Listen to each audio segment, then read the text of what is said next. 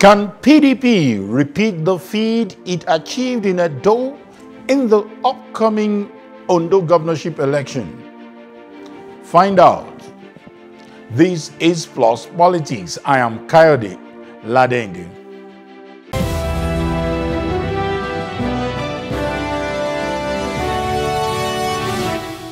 Welcome back. This is Plus Politics. Let's get the ball rolling.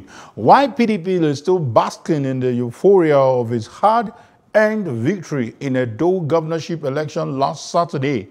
It says it is not resting on its oars ahead of Ondo governorship election, which comes up on October 10. While the situation is not the same with a Edo State, in that there is no power of incumbency it boasts that Nigerians at large are tired of the ruling party APC. To talk more on this position is the head of the Media Eyitayo Jegede campaign organization, Mr. Benson Enikuomehin. Uh, is joining us live in the studio. Good evening, sir. It's a pleasure being here. And good evening to our viewers at home. And good to have you. Yeah, thank you. You were here via phone two days ago and uh, the feedback I got from you and your counterpart from APC was that, oh, we need to stay on this discussion because the time was quite short. So let's hope that we'll maximize time. Let's look at um, the idea of from Edo to Ondo. And uh, people will say that, um, especially the ruling party will say you are daydreaming, that it's a different ball game. And if you want me to remind you, you remember the fact that, oh, even the former national chairman of APC then, um, the incumbent governor was not in his camp. So the man that was believed to be the reason why they lost is no longer in the aim of affairs. So they feel they will them to victory. But the truth of the matter is, uh, when the Arab Spring began, um, some countries that ordinarily should make changes when the um, kind of revolution, let me use the word, was on, uh, refused and felt nothing will happen. But this is a movement. Nigerians are fed up with the APC from all strata of the society, from local government to the state and to the national. And the truth of the matter is that from now till 2023, Nigerians are not desirous that APC should win any election whatsoever. That statement was made in Edo State. Uh, it was not incumbency. It was incumbent on the people of Edo State to take a decision, which they did. And the, the statement was loud. The government is for Edo people. It shall be run by Edo people for the benefit of, of Edo, Edo people. people. And Edo people must choose who will lead Mr. them M in that Mr. Enikuomehin, um, why you will continue to insist that PDP is the option, but let's look at the indices. Let's look at the factors that work against APC. And the most common one is the issue of Godfatherism. And people will say there's nothing like that in Ondo State. You, you see, the truth of the matter is um, when, when you get um, a boxer to an angle, particularly angle 90, uh, something must have led to it that made him not to be able to escape your punches, your jabs, and all that. The APC cannot escape the jabs of what is transpiring. You, you know, here is a government that came on the platform of no other thing than propaganda at the national and at the state. When the president was coming in, he said within a few period of time, six months, Boko Haram would have been over, insurgency would have been over. And now, first term, insurgency increased. Second term, insurgency continues. How do you believe such a person? It went ahead to say corruption will be dealt with.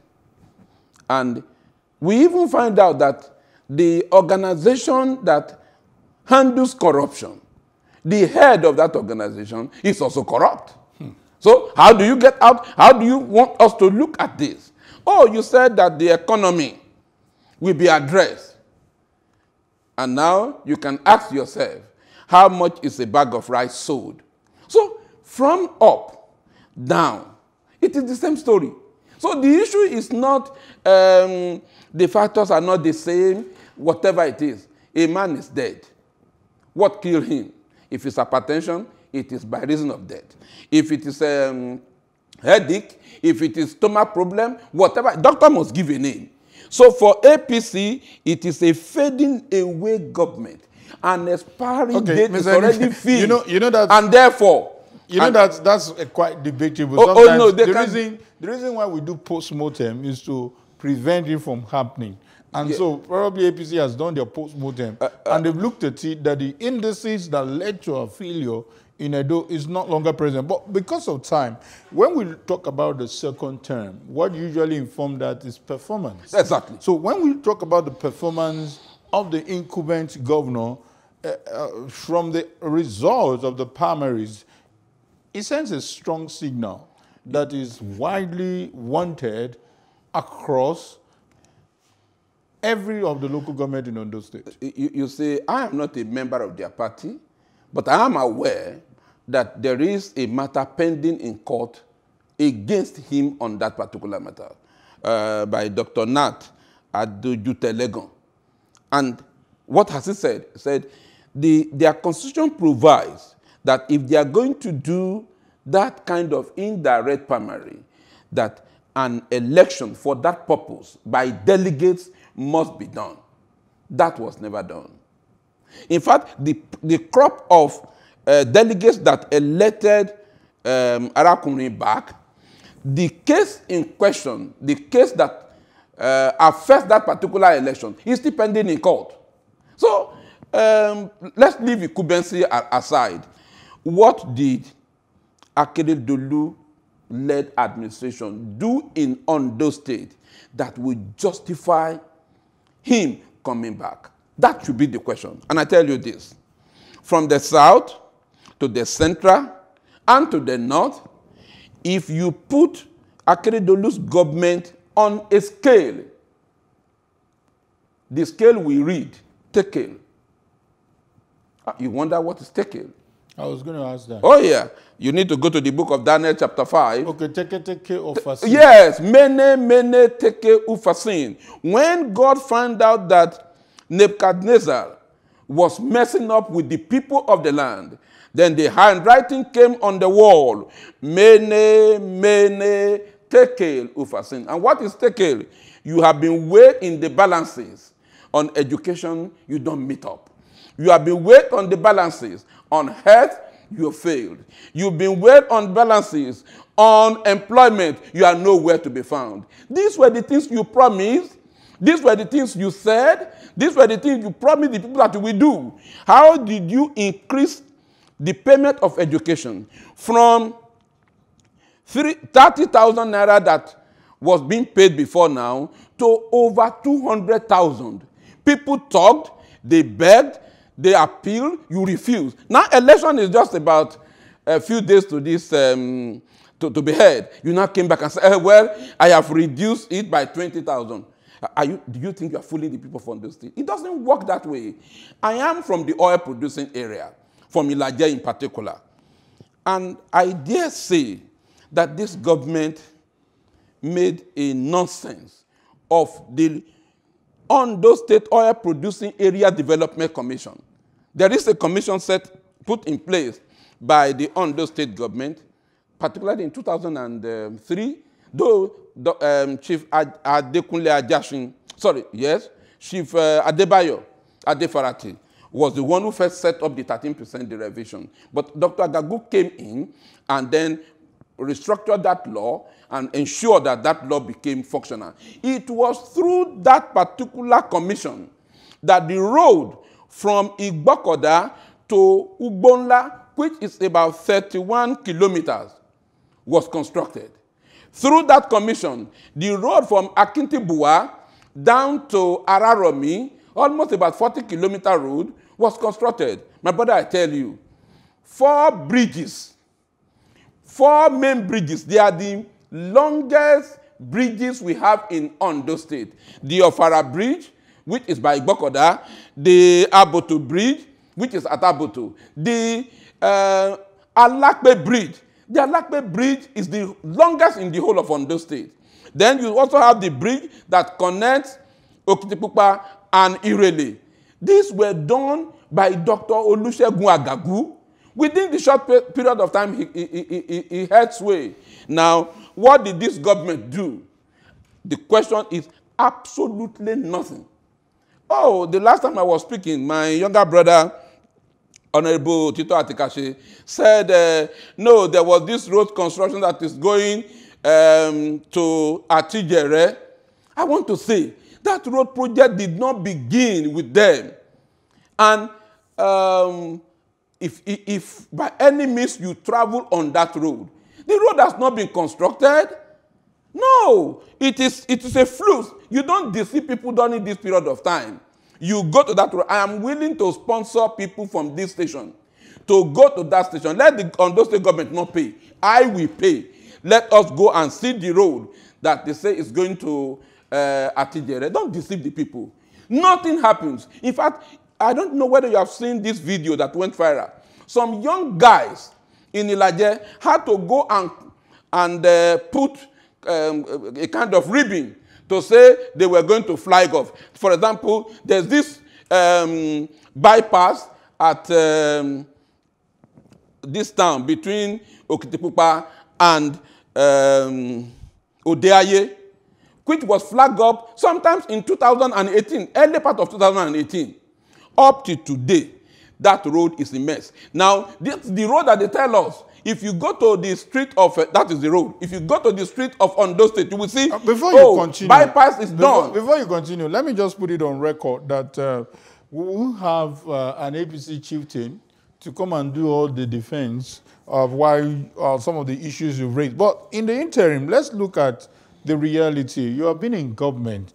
You understand how government works. Do you expect some of this construction to be done within three years, four years?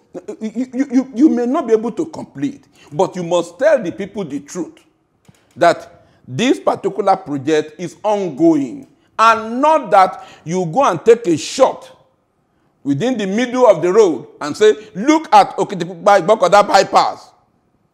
And, and then you flash it to people who are ignorant. These are days of social media. People will show it. I, I, must, I must confess, There are places where Akeredolu also worked. I don't deny it. For example, in Owo, which is his hometown, he has done well for the Owo people. And um, I think this day the way things You're are... also from uh, Ondo North, right? That is Ondo North. Ondo North, I'm talking about Owo. I'm not talking about Ose. So you didn't get to... Oh, no, no. The, the, uh, Ondo North has uh, six local governments, namely Owo, Ose, Akoko South West, Akoko South East, Akoko North East, and Akoko North West. He did well for them in Owo Town. I'm talking about Owo Town. Then when you go to Ikare, there is this um, uphill that has been there for a long period of time in Ikare. Now, Dr. Mimiko began that process, couldn't finish. But today, he has gone ahead to complete it. No, there's no doubt about it. But when you remove Owo and that Ikare, tell me which other areas that he has brought on board that will engender anyone. Then come to Akure. In Akure, you will see the road that connects the High Court and NEPA. About 500 meters or so that he did, he dualized. Then you go through Hospital Road. Those ones are still under construction. But when you go to the interland of Akure, by the time you go to Kejebu, when you go to Oshinle, when you go down, down to um, the road that uh, goes to some of the hinterland, there is nothing. You know what they call this in my area? They say, just to do shine shine bobo. So see, when you come on board, you see this uh, one. But when you go to Ondo Mr. South, Nikome, let's let's let's try and put it into perspective. You know, I I live in Nigeria, and I understand what you're saying. But where I don't understand is, do you expect the state government to be the one fixing the adjoining roads, the inner roads? This should be the function of the local government. Oh. So from your submission now, you mentioned that the major roads are tarred, what you call shine shine. Yes. They are done, they are fixed, and you. I- I'm happy you're not denying this. No, no, you know. So where, where is the function of the local you, you- government? You, know, I always speak the truth. I don't. I won't lie, because these are things that are obvious. That he has fixed the um, or what they call it, hospital road and um, High Court road. Uh, Can you deny this? It's not possible. But when you compare that to the quantum of resources available to the state, the government, with greatest respect, has in not this, done well. in this region of bailout, in this region of what we know what is happening to My- my- everybody. My, dear brother, if you put a quantity of some quantity of soup inside a cup and you prepare it, if you do it well, you will eat and your children will be satisfied. The point I am making is this the government has rendered the local government completely useless. Roads that are local roads, roads that will lead to the village, no local government can do it because the funds available to the local government have been appropriated. And therefore, Mr. Rotimi Akeredolu SAN does not deserve the people coming to say, sir, you have done well. Only one person has enjoyed that in Ondo State, and that is Dr. Olusegun Mimiko. In the first tenure of his office, Dr. Mimiko of Labour Party then did well. And that is the truth. We can't, we can't witch it away. Anybody can say anything about Dr. Mimiko. He brought Abiye. He brought father, mother, and child So if he truly did this, then where what happened to all these roads that are yet to be fixed that you're talking the, about? the, the point I'm making is this. When a road is fixed, that road must be maintained. You don't take your bath in the morning and say, oh, I have fixed it in the morning, and for three days you are like that. Once people ply on that road, that road must be fixed. And that have, is I have quite a load here. I, I think you've talked about performance. Let's hope that uh, the other. No, for will be able to- performance, he can't, can't get anything. let- it let- will be about two, two or three percent. Let's look at uh, the irony of what happened in our politics. And for example, in uh, last election, there was no room to even talk about performance in Edo State. People were talking on Godfatherism. People were talking about the zoning arrangement. People were talking about some other factors. Let's look at some of the things that will shape this election. We'll continue the conversation from time to time. Let's look at the issue of zoning. Uh, I hear that noise from your state that um, the people from uh, The Southern Senatorial District. should not be talking about being a governor. That's where Olusegun Mimiko came from. Should it be their time? Why don't you allow the Ondo North to finish their time? What stops Akeredolu from having two terms or somebody from his zone, not You, Itayo you- you- Jegede? you know, I was praying hard, and those of us in PDP were praying hard that uh, Arakunrin Oluwarotimi Akeredolu should win the primary, either by whatever means, whether right or foul. We were praying for it, and God answered our prayer. Because the scripture says it is only when you are faithful in a little that much can be committed into your hand. We are running a government of the father and the son and the wife. I said this on an international television. How? Oh no, the government of Ondo State is controlled. The- We have. Uh, But you know, you know the wife has this foundation No, before my- they my dear- my dear brother. You know what the wife Be- has been before doing. I can make this statement, I know what I'm talking about. I- His I do son- not know. Okay, I'll tell you now. Why the governor is the governor of Ondo State, the son is a consultant to uh, what do we call it? To uh, inland revenue. The inland revenue of Ondo State. How sure are you? I am talking factually. and you are ready to be taken Oh to yes, court. of course. In fact, I, You are ready I, to I be don't sued. even I don't have it- immunity. Please, I therefore enjoin them to now institute an action against me as I talk. I know what I'm talking about. Okay, let's stay So on the, the, truth issue. of the matter is this: we cannot continue with that. I said earlier, I said he has done well for Owo. If you look at the structure of government, everything is quote and unquote overalized. The chief of staff, our? Head of service, our? The head of inland revenue, our? Name them. If you are talking of anything that is principal in Ondo State, it is Owo. The issue of uh, having every, every part of the state carried along does not arise.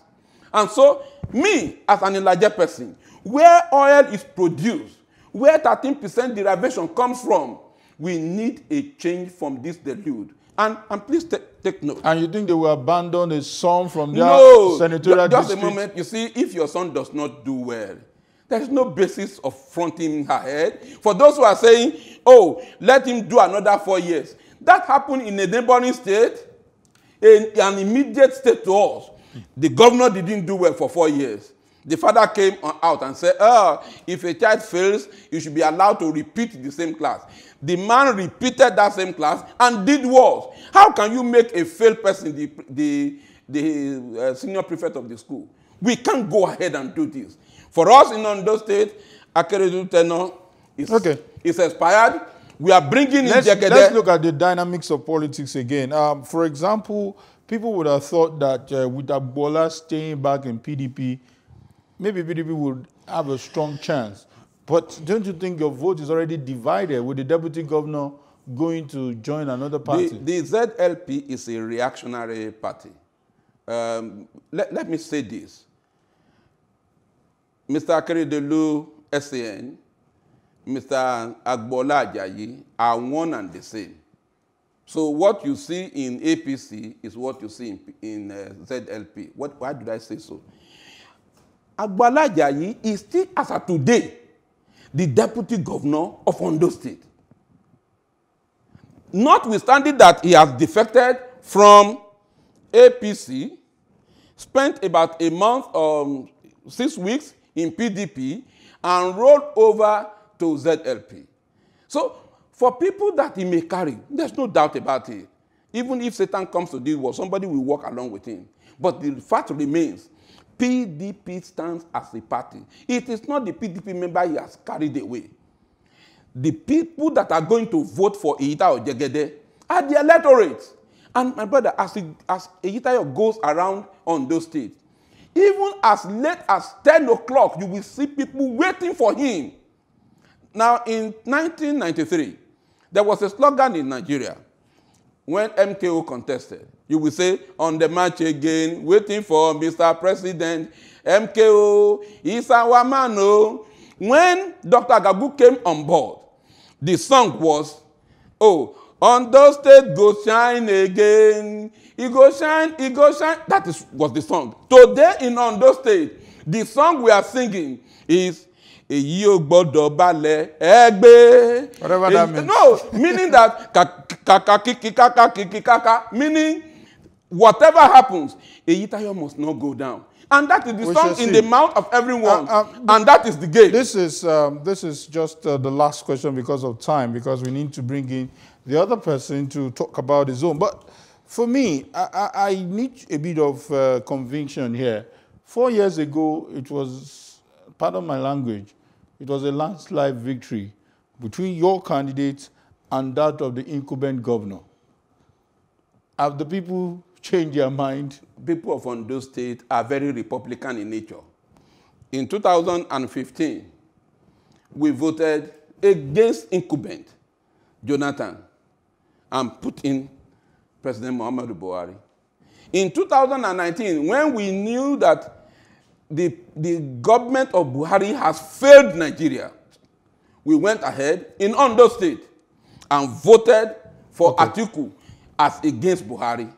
Now, um, Akeredolu SAN has messed up the state. We, we don't repeat failure. That, that's your opinion. No, no, no with, with respect. That's your opinion. Uh, well, if my word can, if my word is uh, harmful, I'm sorry about it. But he has not lived to expectation. We will not allow him. A driver is taking you to Kanu. We will find uh, out. And then he is he's already drunk on the road. Do you go on with that car? October 10 is here. We will find October out. 10 is here. The people of Ondo State, they have made up their mind. Whatever you say, but we appeal to them. Please, okay. for goodness sake, no gun. Don't cause violence. Don't cause crisis.